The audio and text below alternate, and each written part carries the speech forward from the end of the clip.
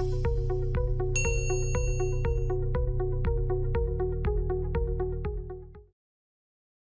guys, welcome back to another video by Simplilearn. In today's video, we're gonna be learning all about enumeration in C. But before we begin, if you haven't subscribed to our channel already, make sure to hit the subscribe button and the bell icon to never miss an update. So now, without any further delay, let's begin. This session will help you to understand what enumeration in C is. And next, what is enum used for?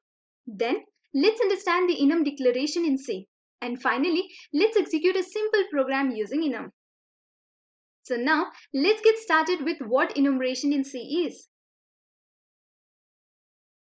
Enum is a user-defined data type consisting of an integral constant.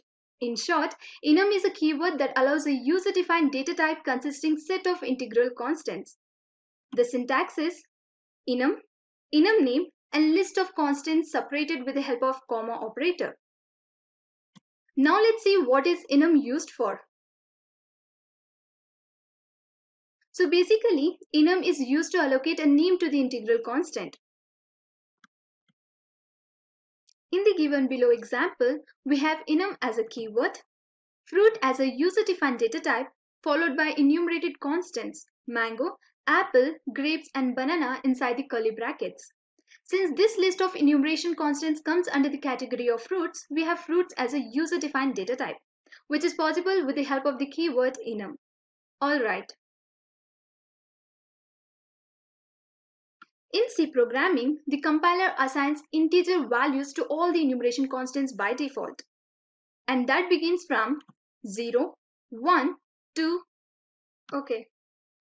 So let us move on to the enum variable declaration. Here, let us consider another example where we have month as a user-defined data type and January, February, March, April, May and June as constant. As discussed before, by default the compiler will assign values to the constant. It is even possible for the user to assign new integer values to the list of constants. For example, the value 5 is given to the constant March and the value 9 is assigned to the constant June.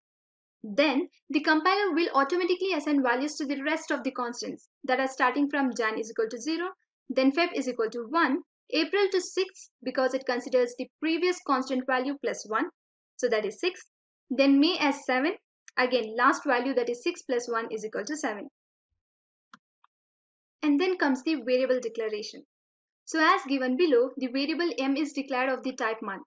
And this variable can have only one value from the listed enumeration constant. That is, multiple values for a single variable are not allowed. But we can also declare various variable declaration for listed constants. For example, m1, m2, m3 and so on. Next, we can assign enumeration constant to the variables like m1 is equal to March, and M2 is equal to April and etc. So now M1 and M2 will hold an integer value 5 and 6 respectively. I hope you got a clear understanding of the use of enum in C programming. Alright. Now let's execute a simple program using enum. Choose from over 300 in-demand skills and get access to 1,000 plus hours of video content for free. Visit SkillUp by Simplilearn. Click on the link in the description to know more. So in this particular example, we are trying to print the integer value of variable m and m1. We have already assigned value 9 to the constant April. So now let's see the output.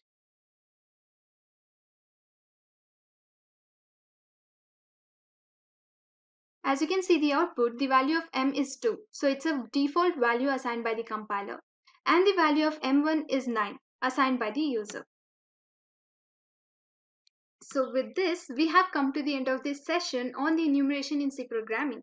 I hope this session was informative and interesting. Until next time, thank you, stay safe and keep learning.